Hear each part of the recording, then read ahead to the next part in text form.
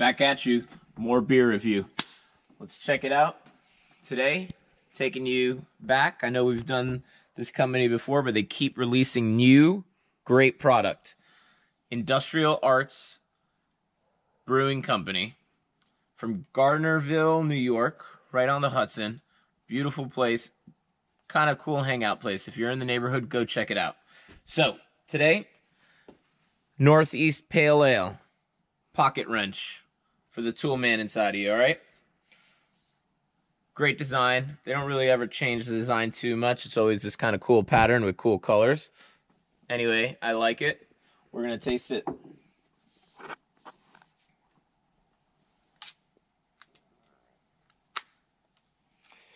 It's bubbling. It's a very nice fruit aroma in it.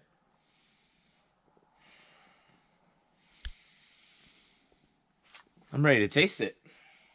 See the color of it.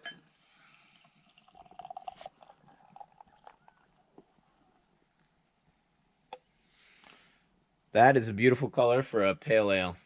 Kind of like an IPA finish. Cheers. Let's give it a taste. So first scent, the fruitiness.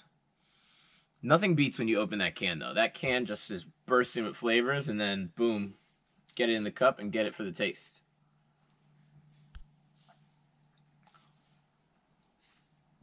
It's good. It has the fruit flavor with a hint of bark, earthy tones to it, which really comes out, but in a super light way. It's like enjoying an IPA, but without all the IPA hops and kick. And this is more everyday beer. Go get it, drink it, enjoy it responsibly. And drink it even more. It's really good. I highly recommend it. Industrial Arts, jerk your meat. Go check it out. Pocket Wrench.